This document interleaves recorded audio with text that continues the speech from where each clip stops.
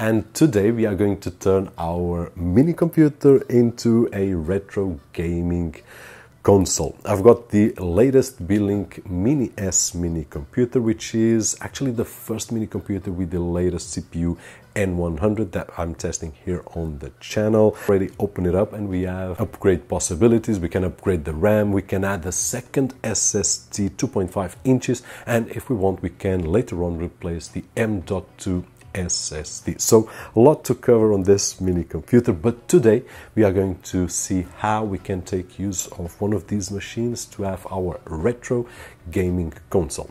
We will keep the Windows 11 Pro in this particular case right over here, so we will not replace the operating system so that we can use it for every other single task. And if you haven't activated yet your Windows license, don't forget to check out KeysFan, where we can get budget official OEM keys at an affordable price. And with the coupon code that you can see on screen and also down below in the video description, you will get an extra 30% discount. So I'll leave the link down below just in case you want to check that out.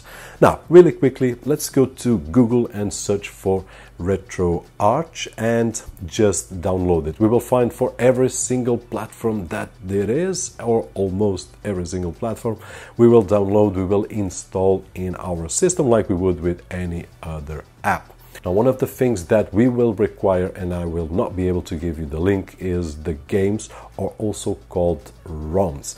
But my tip is that if you go to, to Google and search for retro gaming ROMs, you will find a lot of content and you can download your favorite games for your favorite platform. For example, if you want to play games from the Nintendo, you will find those. If you want for the ZX Spectrum, you will also find those, Mega Drive, and so on and so forth. What I did is I've got on my desktop a folder named Games, which is written in Portuguese, Jogos, and inside that I've got some folders subdivided by platform with the games that I want to play. So this is the way that I suggest you to do. Once we have our games, let's open up RetroArch and we start by going to the online updater and let's do the update of every items that you can see right there on screen, starting with the cores, the assets, and on and so forth. Once you have all updated, just close RetroArch and open it up again. Once we have it restarted, we will go to the online updates and let's go to core downloader. Basically, the core downloader is the platform that we want to play our games. In my particular case, as you could see on the images that I showed you, I've got five different platforms the ZX Spectrum, Mega Drive, Nintendo, Nintendo 3DS. So, those are the cores that I want to download.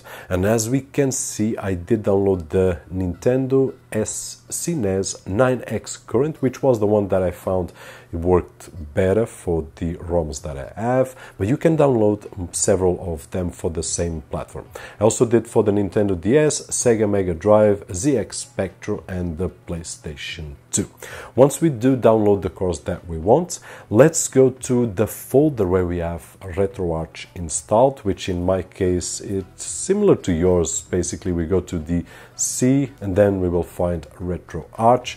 And what I do, and this is optional, I just paste my gaming folder inside RetroArch.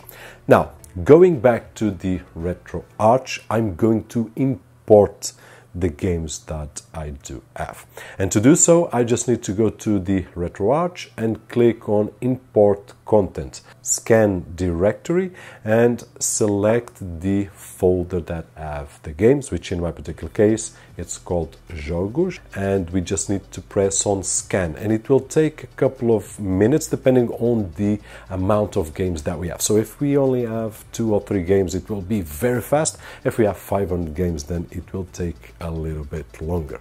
But the most difficult part, it's done. If we go back to the menu, the main menu, we will see that we already have several games right over there inside every single system that we have downloaded.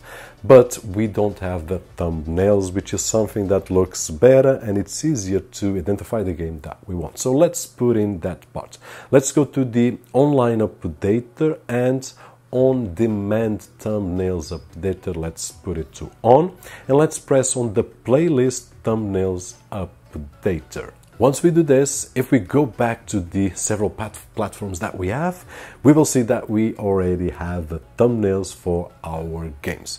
Don't be surprised if you have a couple of games that don't have thumbnail because sometimes the platform is not able to fetch the images from the several servers. There are a lot of guides on the web to achieve this. One of the easiest is probably going to the mode desktop on RetroArch and then just drag one of the images that we can download from the web and put it as a thumbnail. This is the first steps in terms of RetroArch and at this moment you are ready to play your games. You just need to go to the main menu and select which game or which platform and then which game and press run. The first time it will ask which engine or core we want to use. Once we select the core, we can then play our favorite games. And if Super Mario World is one of those, then great, you can start using it or any other game that we used to play when we were kids. And probably if we show to our kids, they will find this a little bit boring and lame but we all know how we feel regarding the beginning of the games, which is not actually this one, but a little bit earlier. That being said, this is it for today. Hope that you guys enjoyed the video, and if you did so, don't forget the usual thumbs up right over there, which is really appreciated on this side of the screen. My name is Roberto Jorge, and as always, I'll see you guys on the next one.